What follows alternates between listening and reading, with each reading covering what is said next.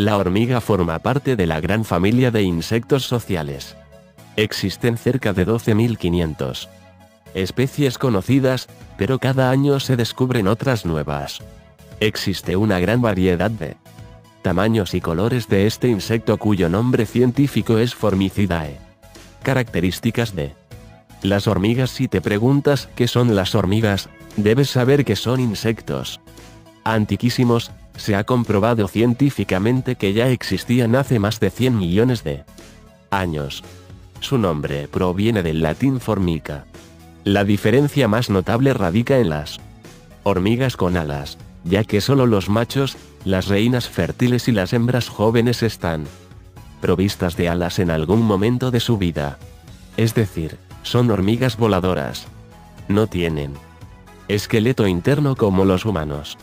Su piel es como una carcasa exterior que le hace de exoesqueleto, esqueleto exterior. Tampoco no tienen en pulmones, y a través de unas pequeñísimas válvulas situadas en dicha carcasa entra el oxígeno que necesitan para vivir.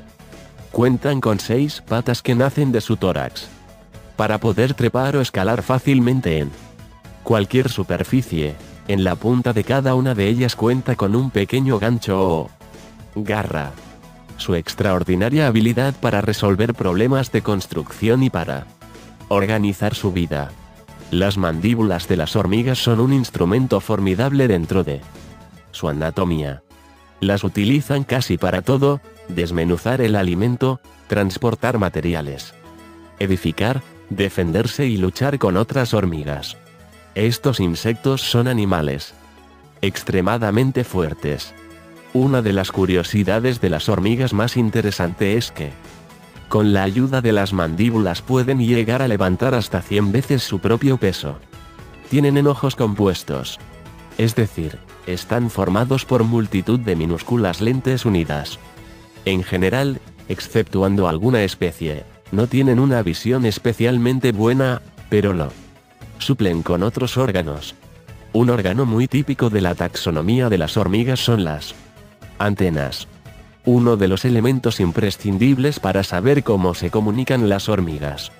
De ellas se sirven para comunicarse entre sí, conocer el sabor de los alimentos y reconocer los objetos.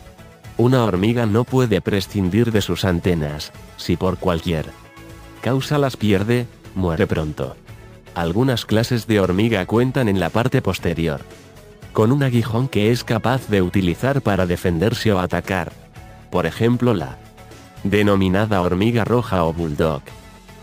¿Qué comen las hormigas? Estos insectos tienen posiblemente la dieta más variada de todo el reino animal. Las hormigas comen prácticamente de todo. Desde hojas, carne de animales muertos, insectos e incluso los hongos que puedan crecer dentro de sus propios hormigueros. Las hormigas son omnívoras. No todas se alimentan de lo mismo en un entorno silvestre. Algunas son cazadoras, otras carroñeras, muchas clases de hormigas se alimentan prácticamente de frutas y azúcares. En casos prácticos esto se traduce en alimentarse con secreciones líquidas de flores y plantas o néctar. También de segregaciones de insectos que se alimenten de plantas o frutas como las orugas o pulgones. Existen especies de hormigas que comen hojas, hierba, cereales, semillas e incluso grano. ¿Dónde viven las hormigas? Excepto en el Polo Norte y el Polo Sur, las hormigas viven en todos los continentes del mundo. Por lo general, viven en sitios escondidos y oscuros. Indistintamente en el campo, el desierto, la selva y en zonas urbanas o industriales. Muchas hormigas suelen construir su nido bajo tierra. Excavan el terreno y sacan fuera la tierra, formando un montículo en la entrada que recuerda la forma de un volcán. Dentro de dicho nido, hormiguero, destinan unas habitaciones o cámaras para el almacenamiento de la comida, y otras para el cuidado e incubación de los huevos. Otras, en cambio, les gusta vivir afuera, como por ejemplo en troncos podridos. Otras construirán sus nidos en agujeros hendiduras o huecos del cemento o de un muro. En cualquier caso, son muy prácticas y el hábitat de las hormigas siempre lo intentan establecer su colonia lo más cerca posible de una fuente de alimentación. Reproducción de las hormigas. Al igual que sucede con las abejas, la hormiga reina es de mayor tamaño que el resto y realiza una función que solo ella puede hacer, poner huevos. Como curiosidad, debes saber también que tanto las hormigas reinas como las hormigas macho nacen con alas.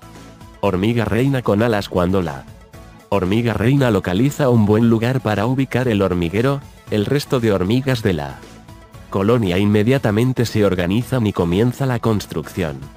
Una vez ya se encuentra dentro, sana y salva, la hormiga reina pierde sus alas e inmediatamente empieza a ser fecundada periódicamente por las hormigas macho o zánganos. La hormiga reina tiene la extraordinaria capacidad de poner hasta 1200 huevos diarios. Los huevos de hormiga son de color blanco y su tamaño es de 0,5 milímetros aproximadamente. De ellos nacerán futuras hormigas obreras, reinas y también machos. Estos insectos son tremendamente organizados y no dejan nada al azar.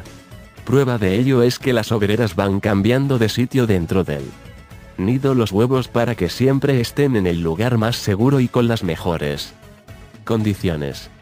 Cuando llega el momento, nacen las larvas o pupas y son cuidadosamente acumuladas en grupos de especímenes del mismo tamaño y también de la misma edad. De este modo, se asegura que todas y cada una de ellas reciben el alimento y atención suficiente. Curiosamente, de los huevos no fecundados también sale una larva, concretamente son larvas de hormigas obreras infértiles. Como la hormiga reina en estado fértil no puede alimentarse por sí misma, las obreras se encargan también de hacer llegar comida a su reina al igual que hacen con las larvas. También es importante conocer que una colonia puede tener varias hormigas reinas. Esto es así ya que un hormigo desaparece al poco tiempo de morir su reina, pero de esta manera, nunca se queda una colonia sin por lo menos una reina. Es cuestión de asegurar la supervivencia.